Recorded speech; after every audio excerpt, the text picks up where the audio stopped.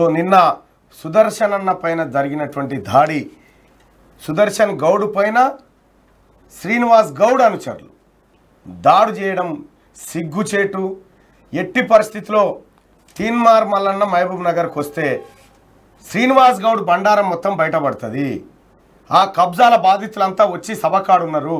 శ్రీనివాస్ గౌడ్ మొత్తం అడ్డంగా దొరికిపోతాడు అనేటువంటి ఒక దుర్మార్గంతో కేటీ రామారావు ఆదేశాల మేరకు కేసీఆర్ ఆదేశాల మేరకు ఈ శ్రీనివాస్ గౌడ్ అనేటువంటి తాగుబోతోళ్ళ శాఖ మంత్రి నిన్న కొంత కొంతమంది కుక్కలను పంపించి మా సుదర్శన్ గౌడ్ మీద దాడి చేసినారు.